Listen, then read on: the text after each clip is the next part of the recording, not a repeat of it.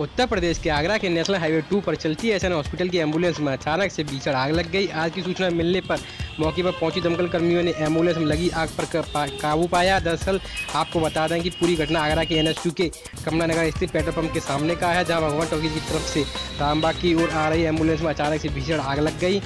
Ambulance में कोई मरीज़ नहीं था, वहाँ प्रत्यक्ष रूपी भोला ने बताया कि एंबुलेंस भगवान टॉकी की तरफ़ से रामनगर की ओर जा रही थी।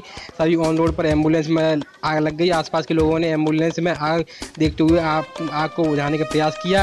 वहीं मौके पर पहुँचे फायर विभाग के इंस्पेक्टर राजेश कुमार चौरसिया ने बताया कि इस घटना में कोई जनहानि नहीं हुई है और आग पर पूरी तरह से काबू पा लिया गया है।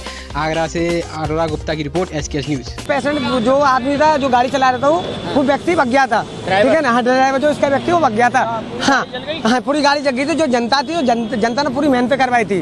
ठीक है ना? जानकारी मुझे ये मिली है मिली थी कि कमला नगर पेट्रोल पंप के पास में एंबुलेंस में आग लगी है।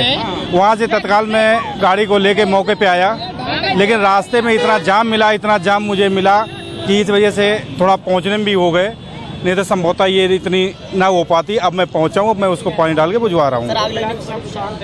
हाँ नहीं कोई ऐसी जानकारी नहीं है कुछ नहीं है। अब मैं इसके बाद इसकी जाँच कर रहा हूँ देख रहा हूँ कैसे क्या लगी उसके बाद तब।